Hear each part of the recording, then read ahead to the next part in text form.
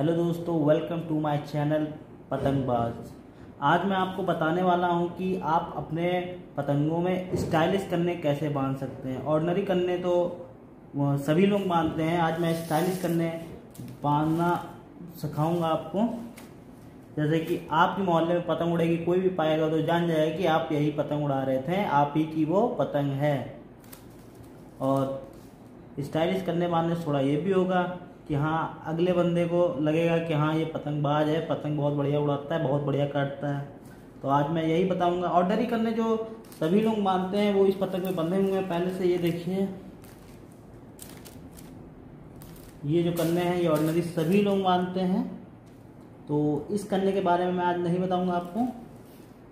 इस कन्ने में तो आपको बहुत सी वीडियो मिल जाएगी ऐसे कन्ने बांधने के लिए।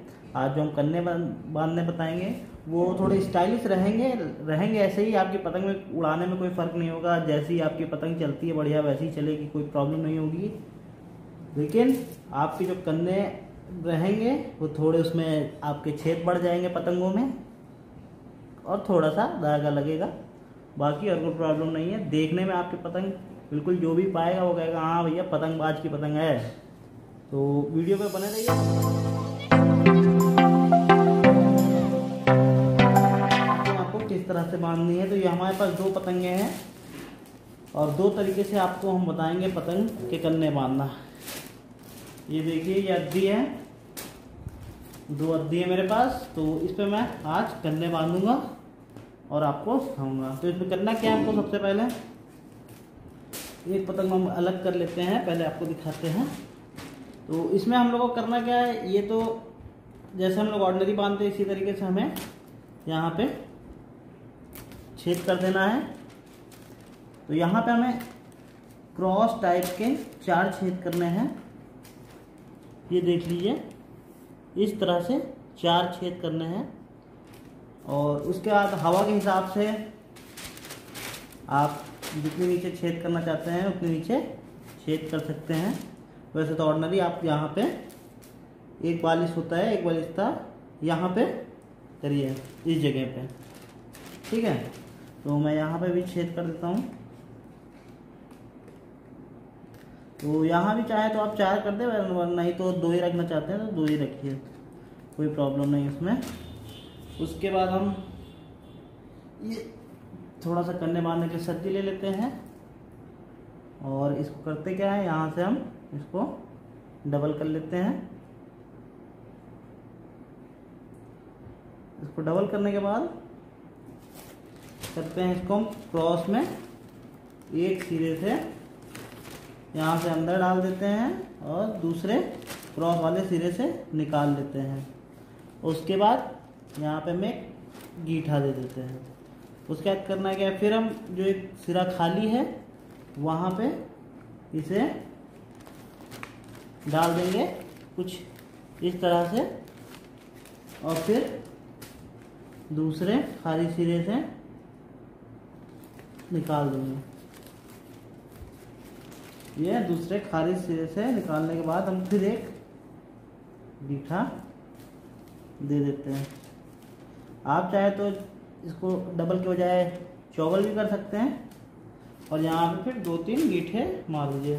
उसके बाद ये देखिए, हमारे जो कन्ने बंधे हैं पीछे क्रॉस में बंधे हुए हैं। मैं दिखा देता हूँ आपको। ये देखिए। और उसके बाद क्या करना है हमें? नीचे के आप चाहे तो इसी तरह से क्रॉस करके बाँध सकते हैं। और चाहे तो वैसे क्रॉस ना करिए तो वो ज़्यादा ही सही रहेगा। ऐसे ही नॉर्मली बाँध दीजिए।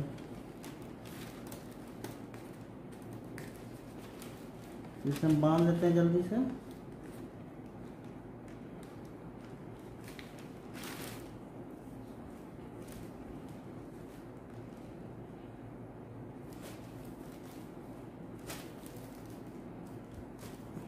ये हमारे एक पतंग में, स्टाइलिश करने बन चुके हैं।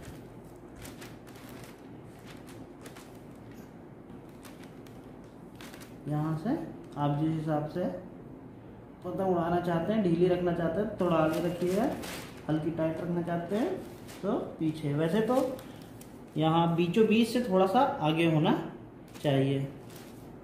ये मैं आपको दिखा देता हूँ, बीचों बीच से थोड़ा सा आगे की तरफ़ होना चाहिए।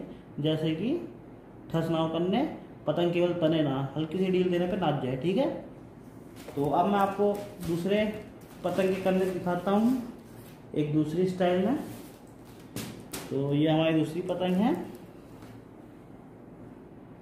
इसमें हम छेद कर लेते तो इसमें भी हमें इसी तरह से, चाहे तो आप चार छेद कर लीजिए, चाहे दो कर लीजिए।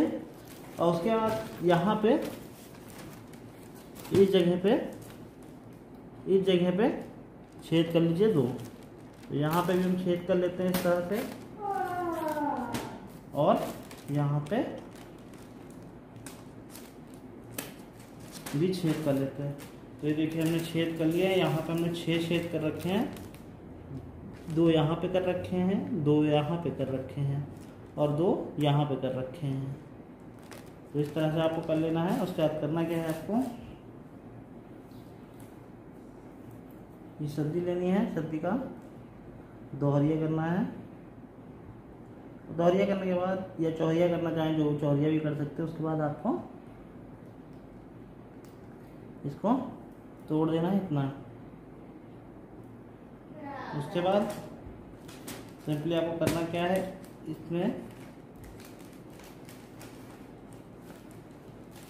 ये हमने यहाँ पे बाँध देना है। दो तीन गीठे दे देने कस के। टाइट रखिएगा, लूज बिल्कुल भी ना रहे, वरना आपकी पतंग सही नहीं चलेगी, बस तना करेगी, जल्दी नाचेगी नहीं। ठीक है? पीछे डंडी से बिल्कुल टाइट रहनी चाहिए, लूज बिल्कुल ना रहे। ठीक है, ये बिल्कुल लूज ना रहे। उसके बाद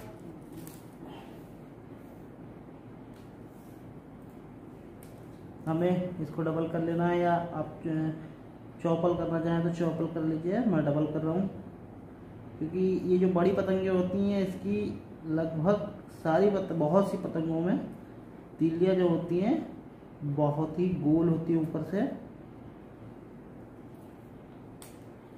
इसलिए दोहरिया भी करके आप अगर बांधते हैं तो टूटती नहीं है। और अगर कोई निकोली होती है चाकू के टाइप की तो वो बड़ी जल्दी टूटती है। तो बेहतर ये होगा, हल्का सा उसे चाकू से साफ़ कर दें प्लेट को साफ़ कर दें। चपटी कर दीजिए, जैसे कि आपके कन्ने जल्दी ना टूटे।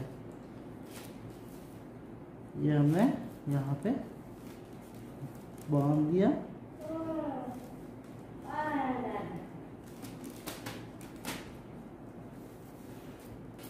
और दूसरा सिरा यहाँ से इसको भी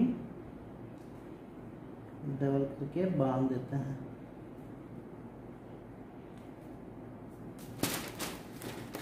अभी भी स्किप मत करिएगा वीडियो को, क्योंकि इसके आगे और भी मैं आपको बताऊँगा।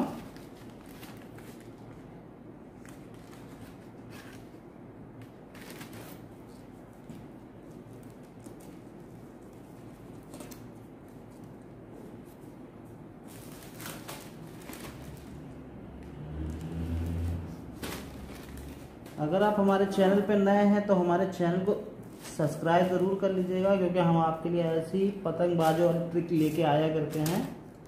और आते भी रहेंगे, आपको पतंग लड़ाने से लेके, पतंग उड़ाने से लेके, पतंग लड़ाने तक, काटने तक। और अगर आप मैच भी लड़ाते हैं मैदान में तो मैच जीतने तक सारी जानकारी यहाँ पे आपको मिलेगी, हर तरीका आपको बताया जाएगा। ये देखिए कन्ने बाँध के हमने तैयार कर दिए तो ये तो फ़िलहाल थोड़े ठस हैं, इसको हम आगे गीठा दे के थोड़ा पतंग को सही कर लेते हैं।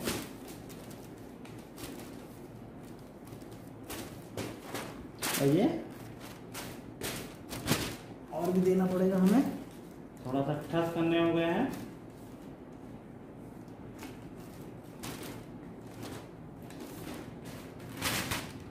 तो अब ये हमारे पतंग के कंधे बन के तैयार हैं। तो ये देखिए इस तरह से कन्ने बनेंगे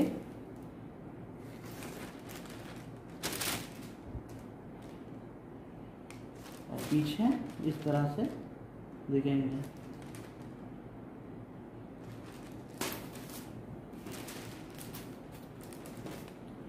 तो उम्मीद करता हूँ, देखिए, पतंग बहुत ही अच्छी है। इस पर काम बहुत बढ़िया हुआ है। यही लखनऊ की बनी हुई पतंग है और बहुत ही अच्छी पतंग है। एकदम बिल्कुल साफ़ चलेगी। इसकी एकदम बिल्कुल धनुष जैसी, तीर के जैसी सीख है। तो इसको मेरे ख्याल से तो चेक भी करने की ज़रूरत नहीं है, बस पार कर देना है। लेकिन फिर भी हम चेक कर लेंगे जब भी उड़ाएँगे। तो इसी के साथ हम ये वीडियो, इस वीडियो को ख़त्म करते हैं। और हमारे चैनल को आप सब्सक्राइब कर लीजिएगा। हम आपके लिए ऐसी ही बढ़िया पतंगबाजों की ट्रिक्स एंड टिप्स लेके आया करते हैं। और मिलते हैं अगले वीडियो में, तब तक के लिए गुड बाय